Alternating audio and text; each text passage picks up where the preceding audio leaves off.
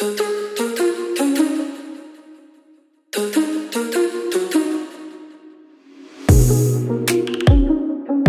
gente saiu de Verona a caminho da Alemanha, mas antes a gente parou aqui, na Áustria, em Innsbruck. A gente agora, nesse momento, está em cima do rio Inn, que dá o nome da cidade. Bruck, em alemão, quer dizer ponte. E a cidade diz exatamente isso, a ponte que passa pelo rio Inn.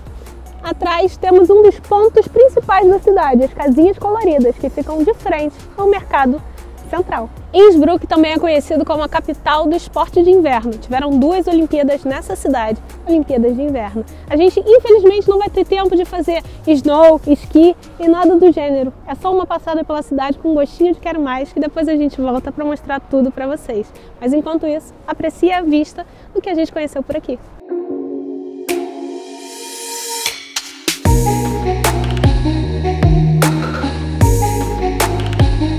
Esse vídeo faz parte de uma série de aventura da família Cris pelo mundo pelo inverno na Europa. Percorremos de trem mais de 10 países em busca da aurora boreal até o Polo Norte e vamos inspirar você a também realizar o seu sonho. Não espere para depois, não espere seus filhos crescerem não. Não adiem seus planos, porque viajar em família é possível e muito divertido.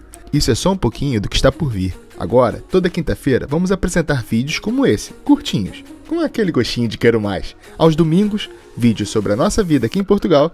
E às terças-feiras, você vem viajar com a gente nos vídeos mais completos. Até a próxima!